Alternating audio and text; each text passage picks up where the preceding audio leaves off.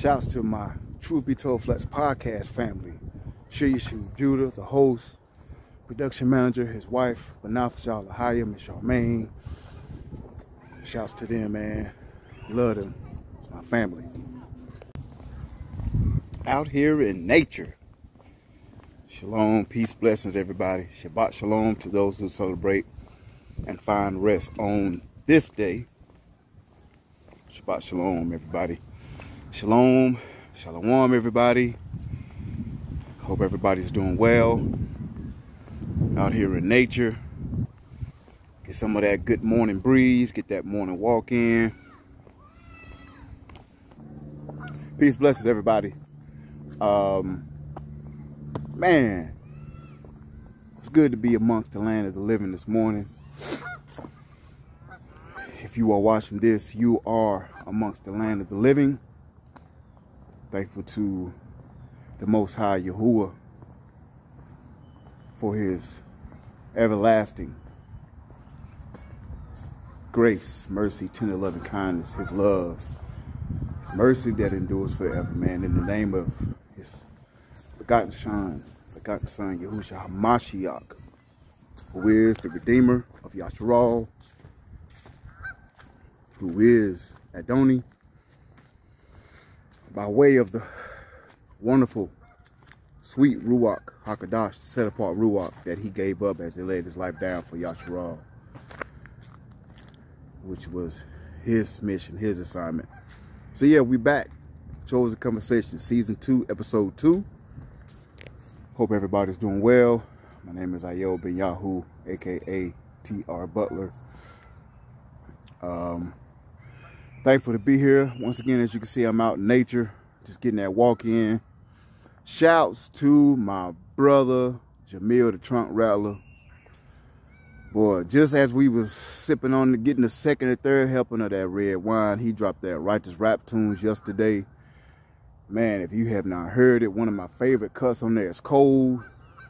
Brother talking about a testimony, uh, just a similar testimony um, that we have about, you know, it's just real out here how you how you got to keep pushing because you know you may not be in nobody's top five or top 10 as far as you know music artists or uh, minister of music. Uh, you see all these events getting booked but you're not getting you're not you're not in them or on them. How you got to be how it's cold man cold out here. And that's one of my favorite songs because it, it just it just the testimony is just you know he was saying and you know on the album you got to go listen to it man. Get righteous rap tunes and um if you haven't seen our interview on last tuesday he was talking about how this was a trying year for him. And uh you know he made a move to virginia from mississippi um you know, you know how the Most High, how he's really, him and his family has has really had to trust in the Most High, right? So go get Righteous Rap Tunes, man. The testimony is outstanding. If you haven't streamed Red Wine yet, go get, download, purchase, and cop Red Wine. Um, wonderful mixtape. Um, brother's just, and we have a song on, um, we have a record on uh, Righteous Rap Tunes called You Don't Need Them. And it's a topic, you know, the art of storytelling is back. Uh, telling a story about domestic violence. It's not talked about enough, especially in Yasharal. It's not talked about because it happens in the world and unfortunately in the walk. It, it's happening. And it's not talked about enough. So if there's any women that is uh, some of our sisters that may be going through that, reach out and get help, please. Yes, reach out and get prayer, but also reach out and get practical help. They have, uh, there's plenty of brothers and sisters in the walk that for the time being, we come together, put our resources together, may be able to take care of a family and sponsor family for a little bit for you to uh, get out of a situation that is needed. Um, brothers as well, if you're in a situation reach out. There's plenty of resources. Um, and that's the topic of today. Um, you know, last Sunday, um,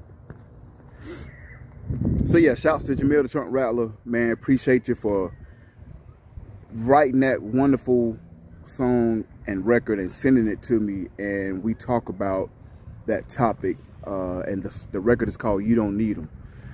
You don't need them if you don't keep the Sabbath. You don't need them if you don't keep the law.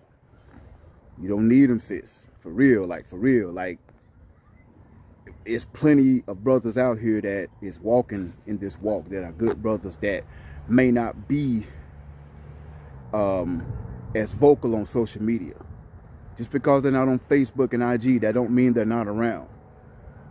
Most of the time, that's a good thing because they get they're too busy working on their skills, uh, working a nine to five, in the studio, taking care of their families, taking care of their kids, but they're single, single dads. So I know it, it gets frustrating. It was frustrating for me. Shouts to my wife, Malka. It was frustrating for, for us both. But we you gotta endure, right? So yeah, shouts to um to, to Jaamel for for just having the the the the fortitude, I would say, to bring up that topic and write that record and that that segue into um you know, Mashiach took risk. But for some reason, Mashiach, Hamashiach, for some reason, a lot of times is deemed as soft. Just because he used wisdom in a lot in, in all situations. Um I promise you, he was not soft. A lot of people took his kindness for weakness. A lot of people took that quietness to for an opportunity to pounce. So many times you read in in in in, in the word that they tried that they was gonna get Mashiach. He had to slip away. He had to flip over the, the money changers. He had to flip over the tables because the people, the thieves were doing the, they were selling to the people the one thing that the folks needed for repentance, for sacrifice. Monopolizing the truth monetizing the truth, right? So a lot of times people get Mashiach twisted because he used wisdom and he didn't go break Yehukanan out of jail. Even had Yehukanan question, are you the one? Are you the light? Are you the true one? Why you can't dispatch them Malakim to come get me? Cause Mashiach was like, man, listen, that's not that's not what I came, that's not my mission. That's not what I came here to do. You don't think Mashiach had to, in that situation, how he had to stand down when he got back from Egypt in Africa. Matthew 2.13. When the, when the Malak told him to go to go to Egypt, go to Misraim until, you know, till you told to come back. Because Herod was after. You know, you could be tough all you want. Stay around. Joseph could have stayed, tried to fight all the Romans on his own that wouldn't have, what was that going to do? So when Hamashiach was older, after he was born and they fled, when he got back, you don't think he got the blame for all the nieces, all the sons, from newborn to what I believe four years old that were slain? When the Herodian dynasty and the Romans said, slain all the Hebrew boys, he became find the one, the anointed one. So you don't think people blame Hamashiach for that? You don't think he wanted to go and turn the government over for doing that? It was a war zone when he came back, just like it is now. So people deem him soft for that. It's crazy how people can do that. Cold, hearts of cold, love of many has waxed cold. Because you don't want to do what they want you to do you don't respond how they think you should respond. But there's a resolve in that.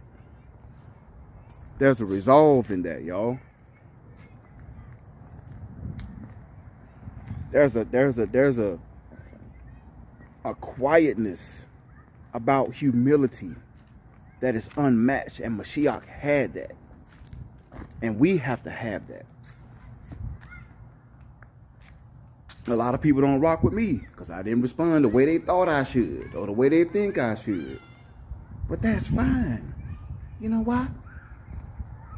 Because all praises, the Most High rock with me for that very reason. Because I didn't get in my flesh. I didn't get in my feelings. Cold, man. The love of many shall wax cold. But we got to make sure our hearts don't turn cold. Because there's a time coming I talked about it last week on the live. I think it was last Sunday before I went on with uh, Obadiah Yahoo. Shouts to Obadiah Yahoo, man. A great interview on last Sunday. But I went live on Facebook and I was talking about there's a time coming where you're going to have to have that fortitude because there's you're going to be in a gas station. You're going to be at work. You're going to be picking up uh, uh, uh, food at a vegan restaurant or whatever. And there's going to be 15 people manifest because all of the angst, all of the anger being held in, all of the emotion, all of the feelings being held in, they're going to manifest. And you're going to have to cast out 9 to 10 to 15, 50 demons. Just like that. You're supposed to be able to.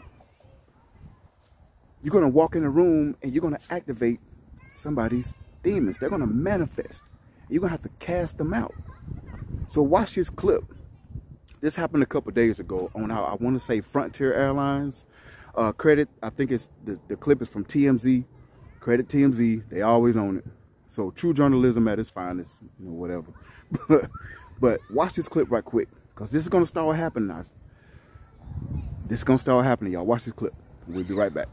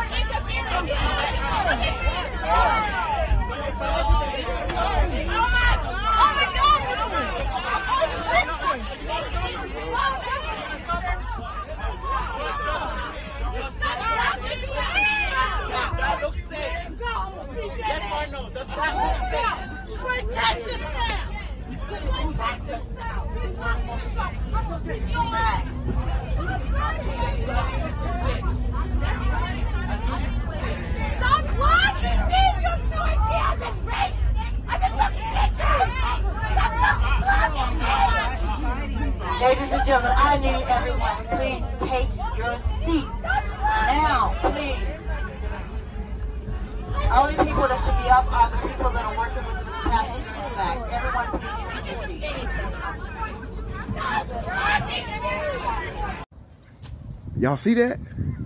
Y'all see how she was climbing? Now that's not normal. Her voice, the way she was crying out, screaming. And the young lady, I don't know the young lady, but the young lady was right. She was on the point of that she was trying to warn them. This is a warning. There's a reason why that went viral. That was re there's a reason why the Most High allowed for everybody to see that. And it wasn't closed off or isolated in an isolated area where nobody's just talking about it. That joint is viral. That joint is millions and millions of views by now. And all of the headlines is saying, look, this woman was demonically possessed. You gotta you gotta look at the characteristics. You gotta know when it's in deliverance ministry what you're up against and what you're dealing with. And you can't be soft.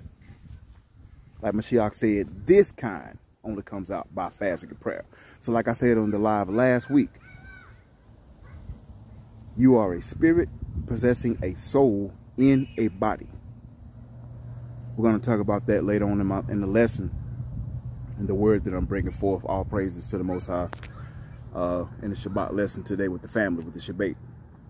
You are a spirit possessing a soul in a body. 1 Thessalonians 5.23, Paul wrote, May Yahuwah Shalom bless you wholly in Ruach, soul, and body. Your Ruach is the eternal image of the Most High. It'll never die. Your soul, your mind, your will, your emotions, your conscience, your subconscious, your body, the vessel, the shell that your spirit and your soul is actually inside.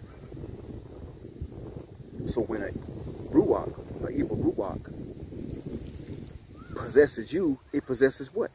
Your soul.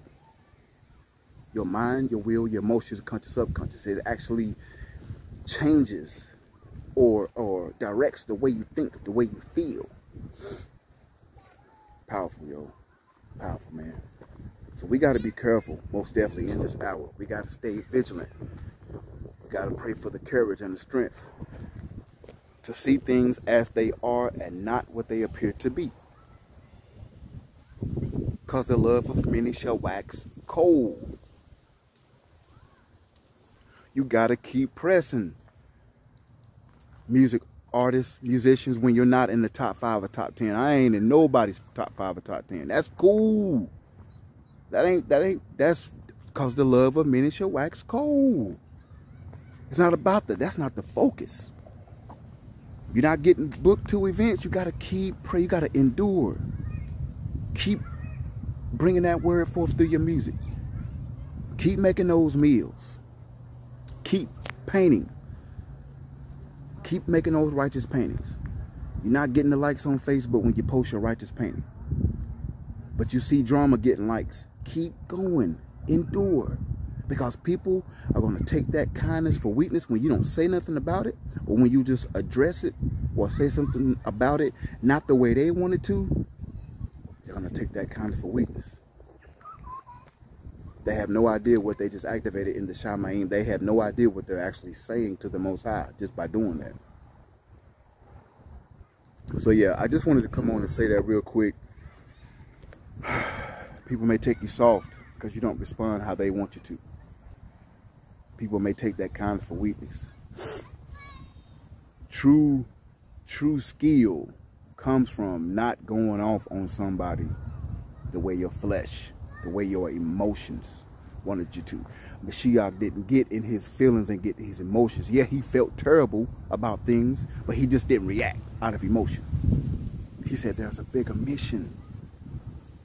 If I go liberate 15 people or 150 people, what about the millions? Come on, man. Later on, that's not going to be able to come to salvation. Come on, y'all. We got to think about the bigger picture, all right? So, yeah, I'm actually going to get off in time. 17 minutes see? Not 20 or 30 but anyway love y'all.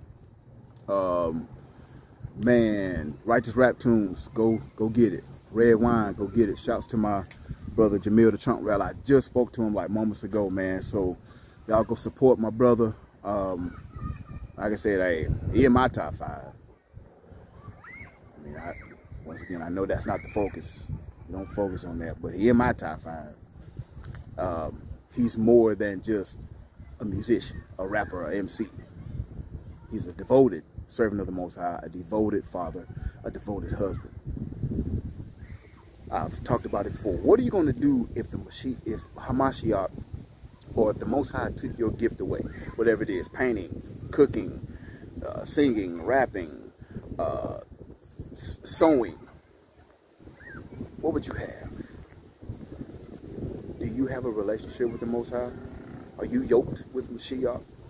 Does the Ruach HaKodesh live on you and inside you?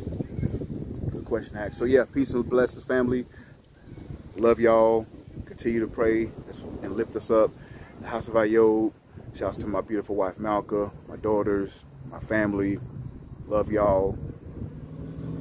Be vigilant. Be courageous. Be sober. Don't be soon shaken in mind and body. Love y'all. Peace.